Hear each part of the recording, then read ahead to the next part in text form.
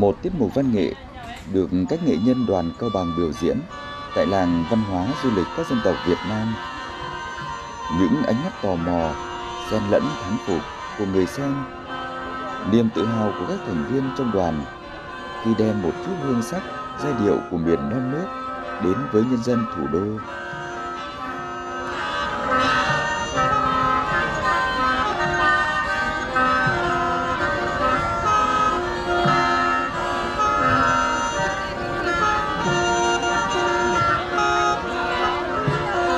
Vui Tết độc lập là sự kiện hướng tới kỷ niệm 78 năm Quốc khánh nhằm tăng cường giao lưu, cơ hội để đồng bào giới thiệu nét văn hóa, phong tục tập quán tại làng văn hóa, góp phần quảng bá, bảo tồn, phát huy giá trị văn hóa truyền thống, đặc sắc của các dân tộc tại ngôi nhà chung.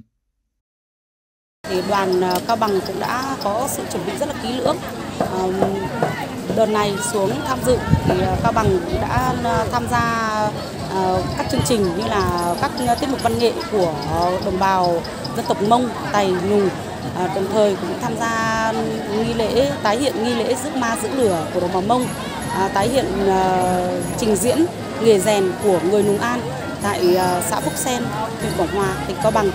À, và chương trình văn nghệ trong khuôn khổ uh, khoảng hơn một tiếng đồng hồ thì uh, các nghệ nhân đồng bào dân tộc Mông, Tày, Nùng cũng đã đem đến cho các khán giả ở tại không gian chợ phiên tái hiện chợ phiên của làng văn hóa các dân tộc.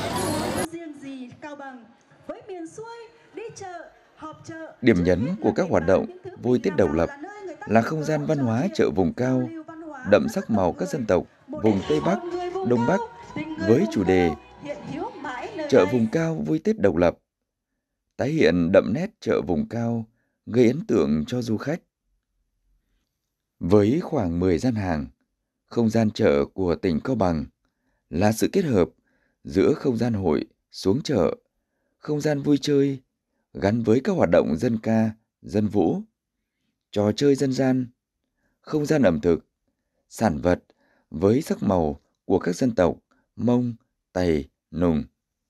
Trung tâm của chợ vùng cao là các gian hàng của Sở Văn hóa, Thể thao và Du lịch tỉnh Cao Bằng, trưng bày giới thiệu các sản vật dân tộc, các món ăn đặc trưng của dân tộc như bánh cuốn, bánh áp trao, xôi ngũ sắc là các sản phẩm đặc sắc, đặc trưng sản phẩm ô cốp của địa phương.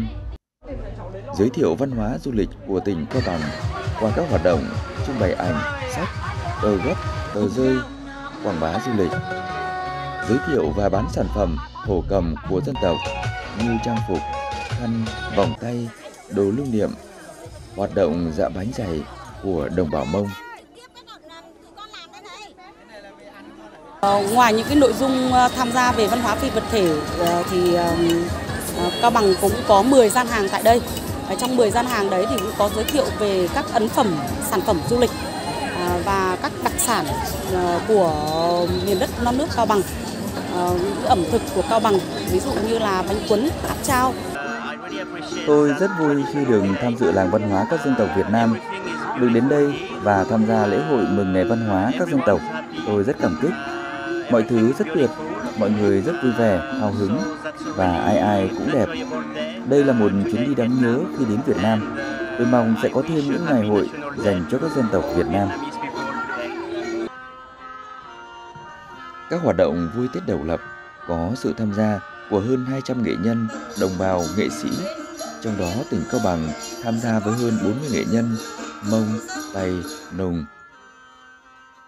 Đi vòng quanh sự kiện, đâu đâu cũng bắt gặp hình ảnh đồng bào vùng cao thân thiện trong trang phục truyền thống rực rỡ sắc màu.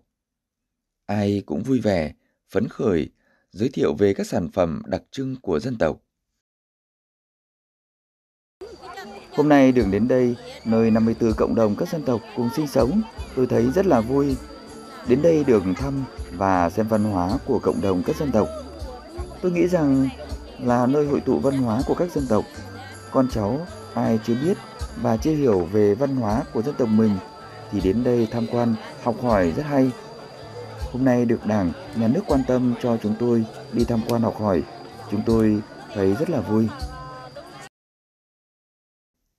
các nghệ nhân Lùng An của xã Phúc Sen đã đem đến với làng văn hóa du lịch các dân tộc Việt Nam nghề rèn truyền thống.